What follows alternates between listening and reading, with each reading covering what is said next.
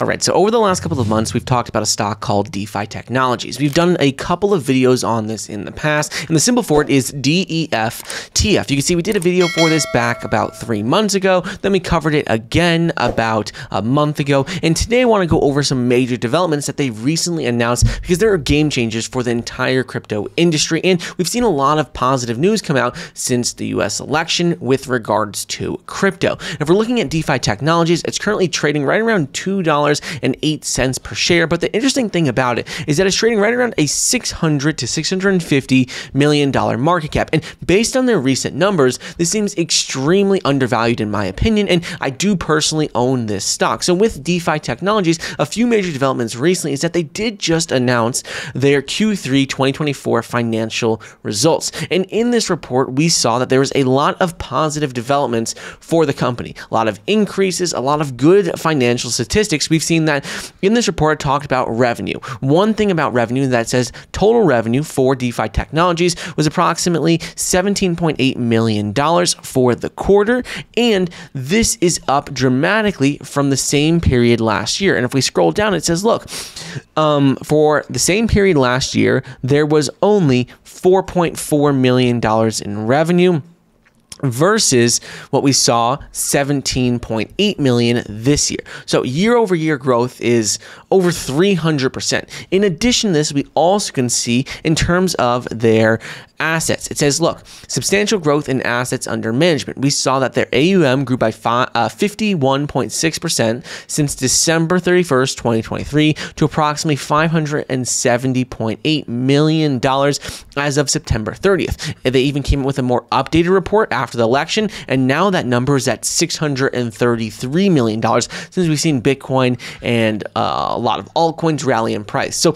in a matter of a year, they've seen massive growth of their assets under management. So while all of these numbers are good, like this is alone enough for me to want to invest and why I have invested because you could see that they have $633 million in assets under management and they also are at less than that in terms of market cap. So if you're looking at their assets versus their market cap, that ratio is the best you could ever possibly hope to see for a stock. But in addition to this, they came out with a few major developments in terms of new plans and new strategies. The first is that DeFi Technologies launched their CoreFi strategy. This is a MicroStrategy inspired approach for amplifying Bitcoin returns with Core. You guys know that I'm extremely bullish on Core. I've talked about it in dozens and dozens of videos on YouTube. I've posted about it probably hundreds of times on X. And Core is one of the only ways where you can stake your Bitcoin and earn rewards. And DeFi Technologies is using this exact strategy. They said, look, their DeFi Technologies uh, launches CoreFi Strategy. It is modeled after successful companies like MicroStrategy.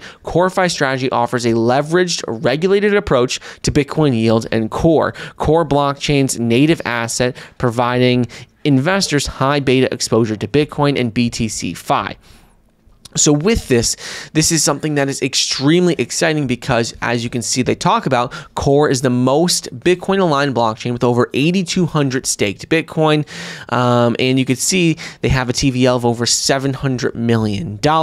Core is a project that allows people to, you know, generate that yield on Bitcoin. It says, look, Core's non-custodial Bitcoin staking product uh, to return investors 5.65% yield on Bitcoin holdings. And you can see that this is something that is really exciting because it's going to allow them to generate more revenue for the company, considering their assets under management have continued to increase. That's their first strategy. The second strategy is with Solana. So recently they announced the launch of SolFi tech, uh, technologies to expand shareholder exposure to the Solana ecosystem. And it says, look, DeFi Technologies launches SolFi Technologies, a spin-out company focusing on providing investors with direct exposure to the Solana blockchain ecosystem through um, through Solana and through its entire uh, blockchain. So that's something that is extremely exciting because it says they're going to provide it through proprietary trading, validator node operations, and ecosystem investments. So this is like a whole regulated approach for investors who are in the stock market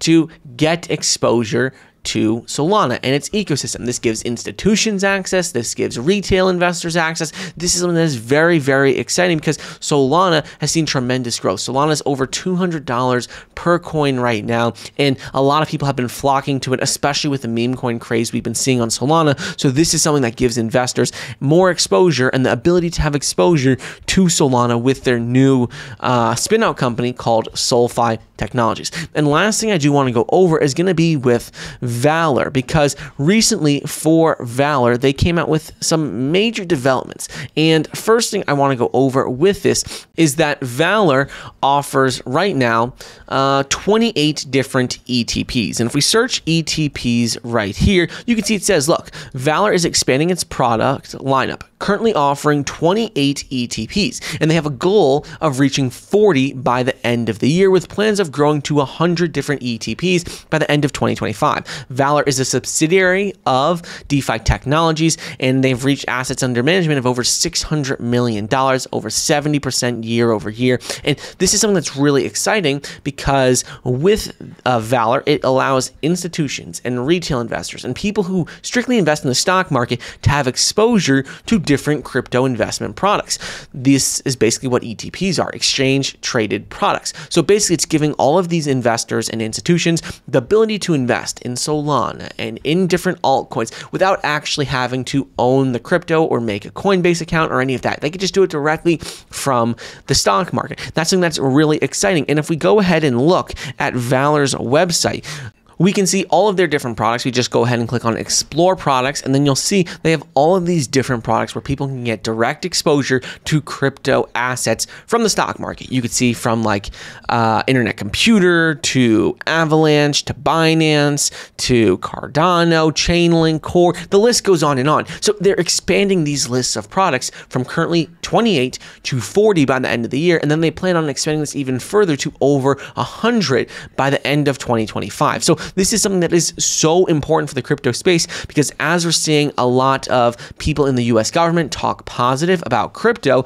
this is going to entice and encourage institutions to invest more into crypto investment products. Now, with Valour, they are one of the only ways where institutions can get exposure to the crypto market without actually having to buy crypto themselves. They can buy one of Valour's ETPs and they get exposure to that crypto. So this is something that is a massive opportunity, especially at its current market cap, which is only around 620 to you know million dollars. So if you're looking at their assets under management, you're looking at the different divisions of their business. You're looking at you know for example Valour, their new company called SolFi. You're seeing all these different things it makes a very compelling argument, in my opinion, to at least look at this stock. Because, like I said, I own it personally in my Charles Schwab account.